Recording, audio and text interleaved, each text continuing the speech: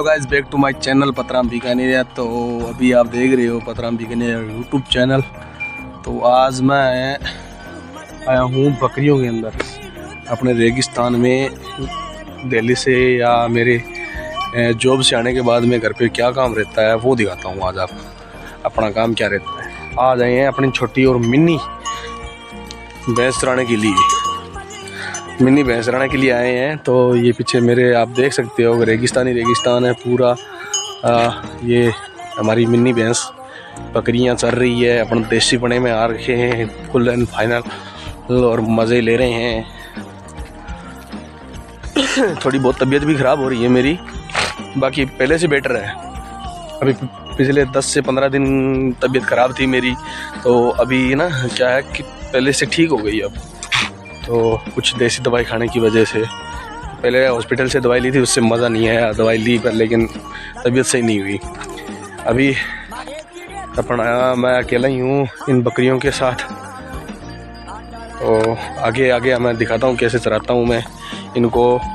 और आप भी देखते रहिए मज़े लो फुल, रेगिस्तान के भी। जैसा कि अब देखो, मैं दिखाता हूँ आपको, बकरियाँ पूरी और यहाँ का रेगिस्तान पूरा का पूरा। जैसे कि हमारे लिए राजस्थानी लैंग्वेज में बोलें तो खोड़ पूरा पूरा खोड़ है यहाँ ठीक है? ये छोटे छोटे झाड़ हैं छोटे छोटे ये बबूल के पेड़ हैं तो ये आपको देखने को मिलेंगे। अभी देखो, मेरे साथ। फ़ोन है, पापा का पापा का फ़ोन मैं लेके आ गया, और दादी के फ़ोन की क्या है कि कैमरे की क्वालिटी थोड़ी सी मेरे से बेटर है, मेरे वाले से बेटर है तो इसलिए मैंने कहा, पापा के फ़ोन से बनाते हैं आज का वीडियो। अभी देखो छोटी छोटी बकरियों के साथ साथ आपको पूरा रेगिस्तान दिखाते हैं।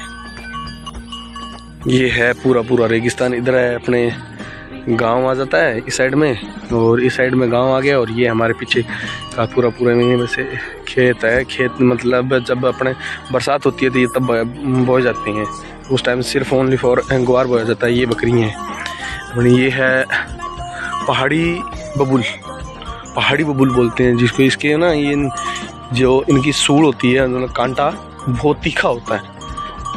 इनका कांटा क्या होता है? बहुत तीखा होता है। तो एक बार लग गया तो समझो डॉक्टर से पहले इलाज नहीं होने का इतना जहर है इसके अंदर।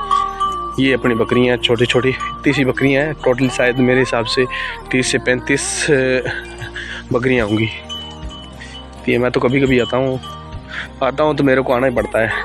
ये सामने पूरा पूरा देख रहे हो, रेगिस्तान पूरा पूरा ये बस सामने ये टिल्ले हैं। सामने। कितने मस्त दरसे हैं। लेकिन ऐसा है कि एक नेचुरल हवा नेचुरल हवा ही होती है।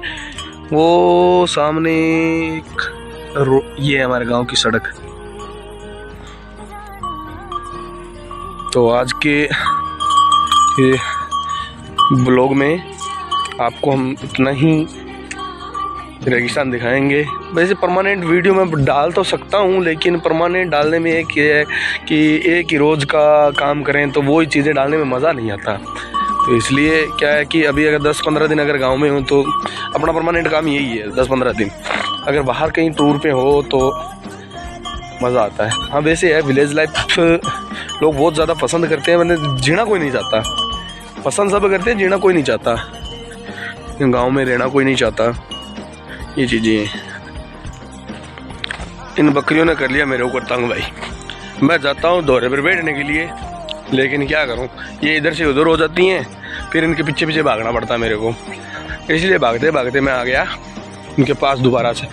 इनको जाना तो है इस साइड, ले जाना है मेरे को इस साइड, लेकिन जा ये इस साइड रही है। तो रॉन्ग साइड में जा रही है तो इसका मतलब मेरे को तो इनके पीछे भागना पड़ेगा। मैं हो गया परेशान भाई, इनसे। क्या करूँ? मम्मी पापा भी खेत में गए हैं, दीदी और घर पे हैं। अगले वीडियो में अपने गाँव और इसका दिखाएँगे, अपने घर का वीडियो दिखाएँगे छोटी सी झोंपड़ी है अपनी, वो तो दिखाएँगे आपको। लेकिन क्या करें, इनका कोई इलाज बताऊँ मेरे को। अब मैं, चलो चलो। अब मैं घेरूँगा इनको।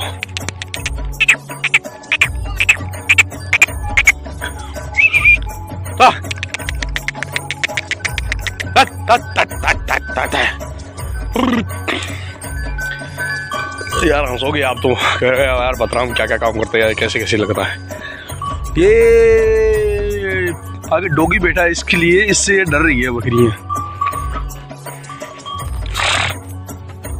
हाँ। वीडियो है, जैसा जैसा चढ़ाऊँगा, मैं ओरिजिनल क्वालिटी के अंदर चढ़ाऊँगा। मज़ा आएगा, यार। सच्ची बताऊँ। रब बन गया।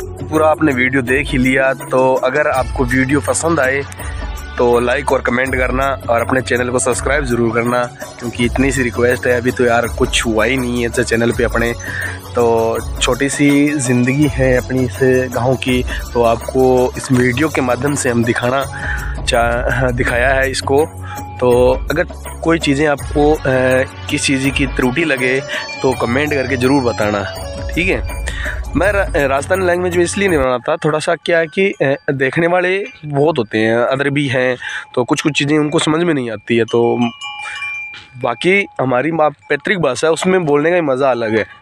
बोलने का मज़ा अलग है, बोलने का तरीके, कुछ वर्ड ऐसे हैं, बंदे, मज़ा आ जाए, खुश हो जाए, हंस हंस के।